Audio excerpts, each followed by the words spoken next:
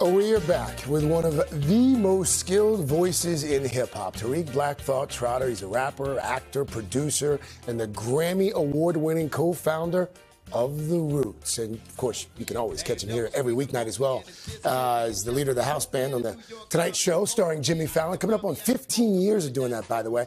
Now, Tariq is also a writer, he's an author. He's out his, his first book.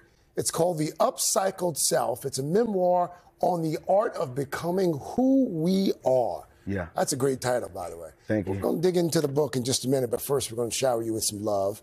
Uh, for folks who, who don't know this, Love Letter, your soliloquy, Yes, sir.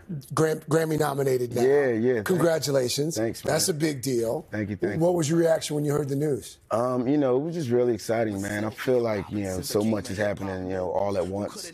Um, so yeah, I'm just really, you know, just grateful for the abundance.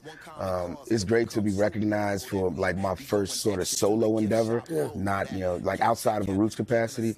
And also to be nominated for something, um, you know, uh, an a cappella piece is just, you know, it's amazing. And for folks who haven't checked it out, I would encourage you to, to do it. I mean, it's essentially a love letter to hip hop. Yeah, Which, of course, is celebrating its 50th anniversary. Yeah. And oh, by the way, Yeah. you just celebrated your 50th Yeah, birthday. Yes, sir. Yes, That's sir. a big deal. Yeah, yeah, yeah, Happy man. belated birthday. How'd Thank you, brother. How'd you celebrate?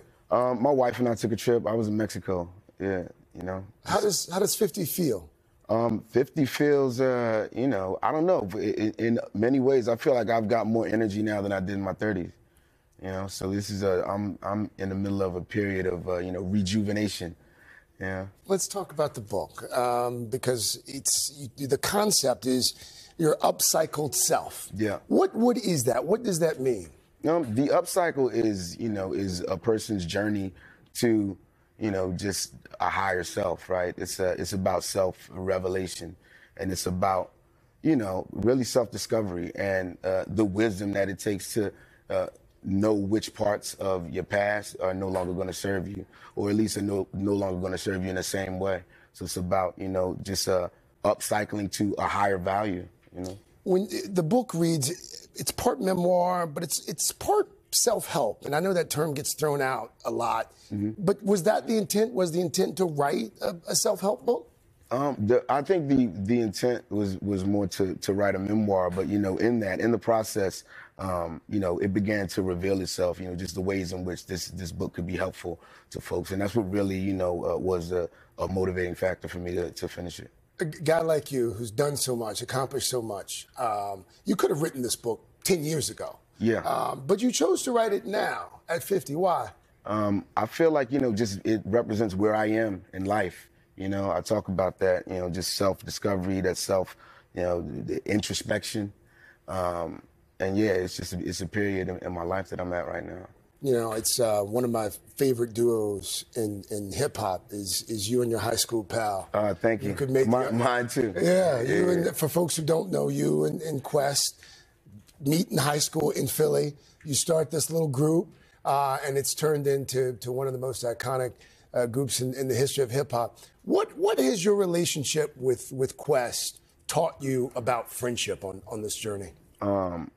in qu- uh, question my relationship has taught me that you know true friendship true you know brotherhood is uh, is undying and you know it's something that you know lasts forever and it's something that is definitely not to be taken for granted you know? Um, i talk about in the book how my grandmother always said uh, you'll go through life you'll be able to count your you know all your true friends on one hand.